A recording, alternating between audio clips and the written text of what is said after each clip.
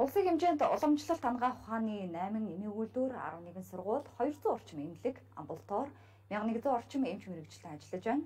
Өнөөдөр хүртэл уламжлалтын салбарынхан бие даасан байдлаар тус тустай үйл ажиллагаа явуулж ирсэн бол цаашид хамтрах санаачлаг гаргаж хамтын ажиллагааны чиглэлээ тодорхойлохоор зөвлөлдөх уулзалт зохион байгууллаа.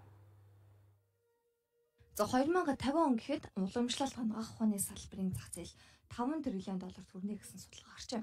Тиймээс энэ том зах зээлийн оролцогч ашиг хүртэж байхын тулд салбарын эрдэмтэн судлаач, эмч мөрөгчлүүд хамтран ажиллах шаардлагатай болж байгаа юм. Тиймээс энэ хүрээнд эргэцэн орчноо бүрдүүлэх, стратеги төлөвлөлт, менежментэд сайжруулах, эмийн чанар аюулгүй байдлыг хангах, уламжлалт ангаах ухааны салбарт шинжлэх ухаан, инновац нэвтрүүлэх зэрэг хэрэгжүүлэхээр төлөвлөж байна. Боломжилт ангаа ухааны одоо хүний нөөцөө бид нар ер нь яаж хөгжүүлэх юм? Тусламж үйлчлэгээгээ бид нар ямар хэмжээнд ер нь авч явах юм за шинжлэх ухаан технологи инновацийг бид нар ер нь яаж энэ боломжит чанар шинжлэх ухаантай нэвтрүүлэх юм? За эмийн чанар аюулгүй байдал зэрэг энэ асуудлуудыг ер нь ямар шатанд авч явах хэрэгтэй юм бэ гэдэг ингээ бидний өмнө толгомдож байгаа нэг талын том сорилт юм да тийм ээ. Энэ сорилтыг зөвмөр хамтдаа яаж давах вэ?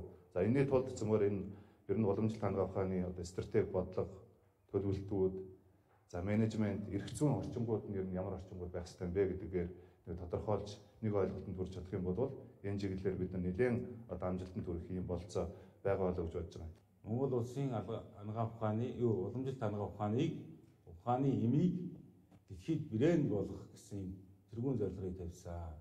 Тийм учраас бид бүхний өнөөдрийн энэ зөвлөгөөн бол маш том чухал үүргийг гүйцэтгэх гэж бодож байгаа. За дээрэс нь та бүхэн өнөөдөр энэ ч бас Монголын уламжлалт тунгаа ухаан цаашид ямар бодлогоор явах уу? За дээрэс нь Монголын алга юу уламжлалт тунгаа ухааны эм ямар төвшөнд байх вэ гэдгийг бас та бүхэн бас тодорхойлно. За би бас нацдар шамтаа уулзаад за дээрэс нь бас хэд хэдэн эмийн үйлдвэрүүдээр орж үзсэн. Биднес хамгийн нэр төрөнд бол ялангуяа JP хангасан үйлдвэртэй байх хэвээр Энэ бол хамгийн гол тэрүүн зорилго байх юм байлаа.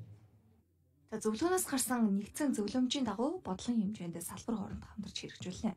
Уламжлалт ангаах ухааны салбарын хүний нөөцийн хөгжил болон эмийн чанар аюулгүй байдалд онцгойлон анхаарч ажиллахаар зөвлөлдлөө.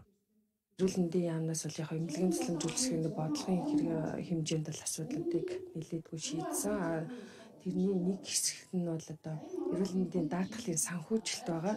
2016 оноос 2019 он хүртэл эмнэлгийн тусламж даатгалын тусламж үйлчилгээний төлбөр бол 117 мянган. Бид нэр уламжлалт ангаа ухааны оншийн оншийн хамаарлын бүлгээр нь одоо санхүүжүүлдэг болсон байгаа. Одоо бас манай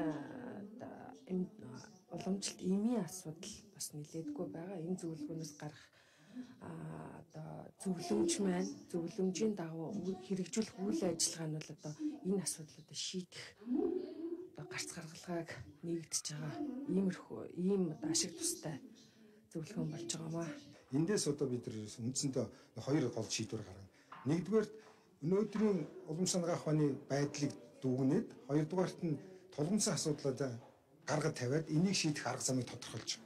А энэ тодорхойлсон арга зам дээр тулгуурлаад шийдлээ гаргана. А шийдэл маань яаж гарах вэ гэвэл эсвэл одоо улам сангаа ухааны хууль эрхцэн байдлыг дэвшлүүлэх а эсвэл уламж санаагаа ухааны одоо асуудлыг багцлсан төрийн хоёр дахь бодлого хэрэгтэй. Би яагаад хоёр дахь бодлого гэж ярьж байгаа гэхээр Монголын уламж санаагаа ухааныг хөгжүүлэх талаар төрөөс баримтлах бодлого бол 1999 оны 7 сарын 2-нд анх батлагдсан 15 жил хэрэгжсэн. Энэ бол дууссан. Одоо энэндээ дүнэлт өгөөд хоёр цасны бодлогыг өнөөдрийн энэ зөвлөгөөнөөс гарсан одоо тулгамжийн асуудлын шийдэлтэй нийцүүлээд гарах юм бол маш их ажил бүгдэлтэй. А ер нь бол бид нар цаашдаа Монголын уламж санаагаа ухааныг ухааны одоо хөгжлийг цааш нь түргэдгийг гэвэл уламж тангаах нь хууль гарах хэрэгтэй байна л гэсэн бодол өнөөдөр төрж байлаа. 2005 онд дэлхийн эрүүл мэндийн байгууллага алсын хараагаа тодорхойлохдоо уламжлалт ангаах ухааныг судалгааны том салбар гэж нэрлэсэн юм. За уламжлалт ангаах ухааны салбарын өнөөгийн байдал хэдийн төлөв зөвлөлдөх уулзалт нийслэл үйл ажиллагаа явуулж байгаа байгууллагуудын төлөөллөөс гадна 21 аймагаас эмчнэр оролцлоо.